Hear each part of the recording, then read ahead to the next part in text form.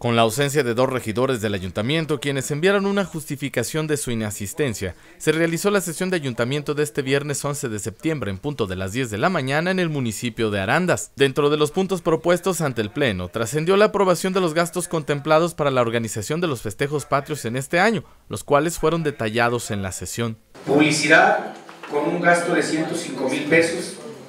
certamen señorita Arandas con un gasto de 300 mil los eventos deportivos con un gasto de 25 mil pesos,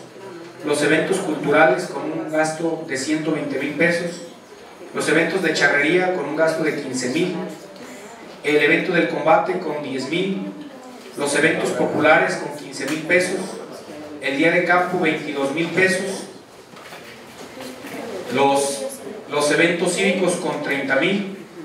y los asuntos varios o, o trámites varios con 48 mil pesos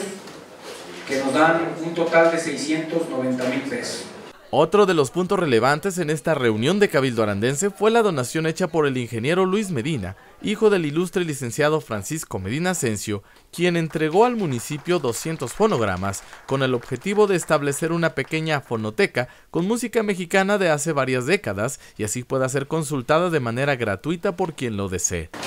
El poder hacer esta pequeña muestra de afecto por mi pueblo eh, y sobre todo en nombre de mi padre, pues es para mí de gran significación.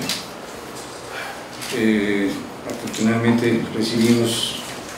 el beneplácito y el apoyo total del Ministerio Ligorio, que nos permitió pues redoblar los esfuerzos para tratar de acelerar este proyecto que nos tomaba mucho más tiempo normalmente, pero que afortunadamente pudimos concluir y haremos físicamente la entrega de los 200 fonogramas completamente el catálogo y una placa que pueda ser eh, colocada en el lugar que ustedes determinen en su momento. El alcalde señaló que la próxima sesión de ayuntamiento sería informada en tiempo y forma a los ediles.